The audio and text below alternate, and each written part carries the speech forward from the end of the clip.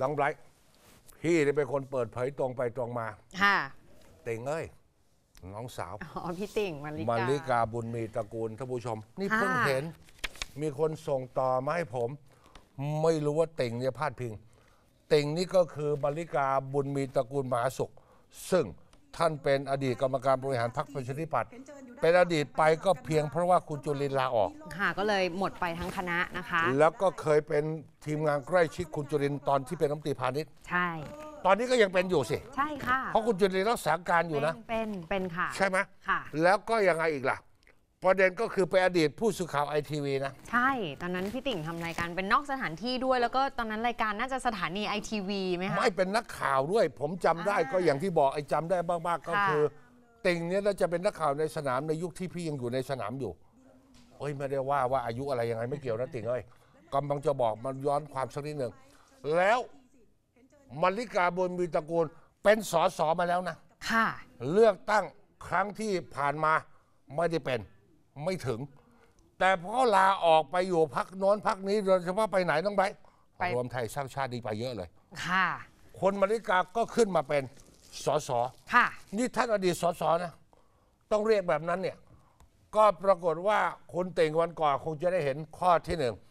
พี่ได้เอาคลิปพี่เต่งไลฟ์สดใช่ไหมได้เอามานำเสนอไปจำได้ใช่ไหม ไม่ได้ ไม่ได้ หนึ่งหนึ่งสองไม่ได้ คนก็รู้กันจะสร้าง แบ่งความแยกดินแตแดกนแยกไม่ได้ ก็คนก็ค่ะ ฟังอยู่ คนบางคนก็อยากเปลี่ยนนายกประยุทธ์ก็ไม่ได้มีใครไม่รู้ ทุกคนก็รู้กันหมดว่าที่แพ้เลือกตั้งสอบตกจะถามอะไร คนกรุงเทพนั่งฟังถามอะไรก็ไม่ได้มีใครพูดซ้ำอยู่ได้พวกไอ้โอรู้กันหมดว่ากรุงเทพส้มหมดเลยสอบตกแล้วยังไงเหรอ ก็คนกรุงเทพก็เพราะคนเบื่อพลเอกประยุทธ์ไง คนก็ากเปลี่นอยู่มาแปดปีซ้ำๆอะ หน้าเป็นมุ้งลี่อะ อันนี้ผมไม่ได้พูดใครพูด คุณมาริกาพูดที่นยกอยู่มาแล้วแปดปี มันก็เบื่อจริงๆอะคนเราเห็นหน้าคนซ้ำๆแปดปีบางทีมันก็เบื่อ บางทีเนี่ยนะผัวเมียกันเจ็ดปีมันก็เบื่อแล้วเลิกกันแล้ว ขนาดผัวเมียกันมันยังเบื่อกันเลยอืมคนเห็นหน้านายกบูลลี่ทุกวันนั่นเห็นไหมเลือกใครแล้วก็ยังมีประเด็นอีกตามประเด็นว่าชัดชาติทำอะไรโอ้ลิกเป็นผู้ว่ามาปีหนึ่ง บอกมาสักหนึ่งในสามสิมาซ้ำๆเนี่ยบอกมาข้อเดียวก็ได้ จะเคลมประกันแล้วบังเอิญได้วันนั้นสักคุณชัดชาติโอ้แกมีคลิปอะสร้างสรรค์คำใหม่สามนาทีกว่าน้องใบร์ทจำได้ไหมเขียนใช่ค่ะภาษาพูดรัวเลยสองคำบ้างค่ะเขียนอยู่นั่นแหละสอบตกสอบตกกูรู้แล้วน่ะแหม้จริงแล้วๆก็เลยมีเรื่องปฏิวัติด้วยไม่ต้องไปเอเขียนอค่ะนี่ถ้ากูเป็นอะผลงานชัดๆเมียอำนาจคือกูอะไรก็ปฏิวัตินะมีใครถ้าดีมีเซรนถให้ถังฉันจะฟัขับได้รถถังขับไปเหยียบหัวแตกเลยผงานชัดๆเหยียบหัวแตกเลยหนึ่งในสามคืออะไรอะปรากฏสามข้อผลงานชัดชาติคืออะไร ไม่ต้องสามข้อเราเอาข้อเดียวอะอะผลงานชัดชาติคืออะไร เออ ผลงานชัดชาติคืออะไรก่อนนำรุ่นรุ่นใหม่ที่ดีได้จริงๆคิดเอาไว้นะว่าเป็นอดีตไอทีวีอาจจะเชิญมาบังเอิญสามข้อเป็นหลักปรากฏว่าเต่ง ดาราทั้งหลายยใช้เห็นว่าคงไปไลฟ์มาทั้งแล้วมีคนโพสต์เอาเก็บเอาภาพมาไว้ ใช่ใช่ แล้วมันยังไงเหรอน้องไบรท์ ก็พูดมาถึงพี่ยุทธกับไบรท์เนี่ยค่ะว่า เห็นเชิญมาแต่ก้าวไกลอะมีแต่คุณวิโรธมา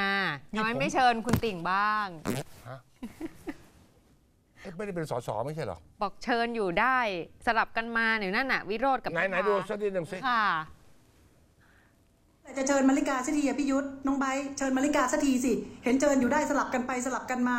ระหว่างวิโรธกับพิธาดิสลับกันไปสลับกันมาเชิญอยู่ได้ เป็นโฆษกพักเขาได้ไงอะพวกเราอะเออ บอกด้วยว่ามาริกากล่าวเขาก็เป็นพี่ฉันนี่แหละ ฉันก็นับถือเขาสวัสดีค่ะพี่ขออนุญาตวิจารณ์นะพี่ยุทธนะเออขออนุญาตวิจารณ์นะพี่ มันดูไม่งามพี่จริง ๆ จรรยาบรรณจริยธรรมอะไรต่างๆ มันดูไม่งาม ดูไม่เป็นพี่ใหญ่ อยากให้พี่เป็นพี่ใหญ่ของวงการจริง ๆ ดูไม่งามเลยอะดูไม่งามดูดูเยอะ ดูลำเอียง ดูเอียน ดูเลี่ยน แล้วเมื่อไหร่จะเชิญมาริกาสักทีวันนี้เชิญแล้วเตง โทรศัพท์ไปตั้งแต่เช้าแล้วค่ะเห็นเห็นพอเห็นปุ๊บบอกให้ติดต่อเลยสิตอนแรกตอนแรกไม่ได้รับสายน่าจะยังไม่ตื่นพอโทรอีกรอบนึงน้ออะงอย่าไปพูดยังไม่ตื่น พี่ติ่งบอกเอง ว่าพี่ติ่งเพิ่งตื่น ยังนอนอยู่เลยเนี่ย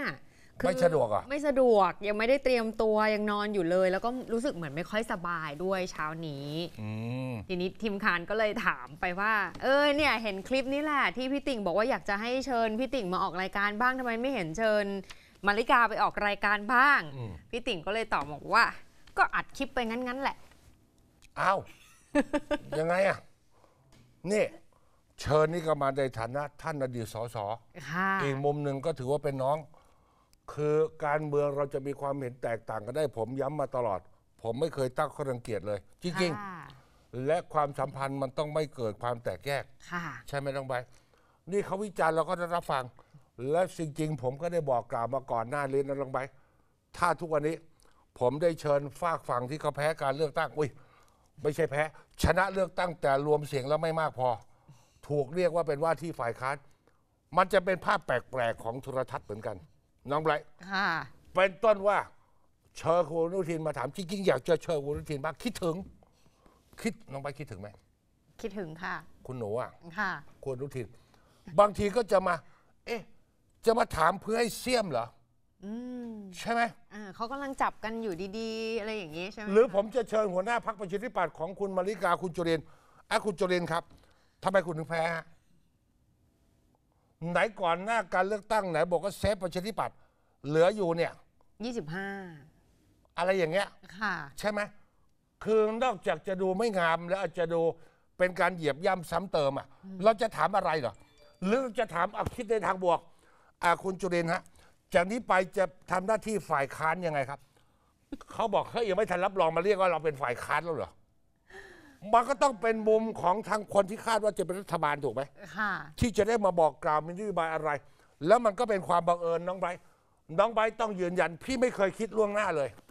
ใช่ พี่เชิญแขกพี่ไม่เคยคิดล่วงหน้าเลยน้องไบร์ทเอาตอนเช้าเชิญมันตอนเช้า เลยค่ะเอ๊ะลองติดต่อไปซิว่างไหม เช้าเลย คุณวิโรจน์ก็มาตั้งแต่ตอนเช้านั่นแหละที่เราโทร ฮะ หน้าแบบว่า เพิ่งแบบ มาจากบ้านรีบอาบน้ำมาเลยหน้านวลมาเลยค่ะ อะและอีกส่วนหนึ่ง เนื่องจากเป็นรายการข่าวกรรมกรข่าวคุยนอกจอ พอคุยนอกจอปุ๊บ มันก็เป็นรายการของผมถูกไหม ค่ะ มันเป็นรายการแบบห้องรับเชิญอะ มันไม่มีการชั่งน้ำหนักเหมือนก่อนการเลือกตั้งว่าจะต้องเชิญใครให้เกิดความเป็นธรรม อันนี้อยากจะคุยกับใครก็คุย ไม่อยากคุยกับใครก็ไม่คุย เข้าใจไหม แต่ที่อยากคุยกับเต่งที่พูดถึง ค่ะที่พูดที่อยากคุยกับมาริกานะ แต่มันเป็นรายการส่วนตัวยังไงน้องใบร์ทนึกออกไหม ค่ะ เออ พี่อยากจะคุยกับใครพี่ก็คุย พี่ไม่อยากคุยกับใครเป็นรายการของพี่พี่จะเอามาคุยทำไม แล้วก็บางที พี่อาจจะอยากคุยแต่เขาอาจจะไม่อยากคุยกับพี่เขาก็ไม่มาค่ะ ถูกไหมน้องใบร์ทใช่มันเป็นเรื่องกลไกปกติเลย หรือยังไงอะแปดนี่ค่ะเราพูดเล่นไปเดี๋ยวคุณมาริกาเดินทางมาจะทำยังไง โอ้ย อยากฮะ ให้มาเลย อยากอยากเจอพี่ติ๊นี่กก็ถือเป็นเป็นพี่เต่งเห็นไหมใช่ใช่ก็เป็นรุ่นพี่ เออเราอยู่ในวงการนี่เราต้องเข้าใจกันนะ ใช่ไหมอะค่ะ อุ้ย ตกใจเลย นึกว่าพลาดพิงใคร ตอนนี้จัดรายการนี่กลัวไปหมดแล้วเนี่ยไปว่าไหม ผมอยู่ในแวดวงสื่อสารมวลชนมาเกือบ 30 ปี ค่ะ เข้าวงการตั้งแต่ปี 31 ค่ะ 31โอ้โหอุ้ยตาย หำหนึ่งใบห้าขวบ31พี่สำเร็จการศึกษา โอ้แล้วพี่เข้าทำงานเลย ค่ะ หลังจากไปเที่ยวเกาะเสม็ดแล้วจะเที่ยวให้พอสมัยนั้น เด็กวัยรุ่นแบบผมเนี่ยตอนนั้นคือในฝันแล้วคือเกาะเสม็ดค่ะ เสร็จสับทำงานเลยตั้งแต่วันแรก วันทำงานผมยังจำได้เลย วันที่ 5 พฤษภาคมเป็นวันหยุด ค่ะ ในยุคนั้นเนี่ยท่านผู้ชมจำได้ เป็นวันซึ่งผมถือเป็นวันมงคลของชีวิตด้วย ค่ะ เพราะเป็นวันฉัดมงคล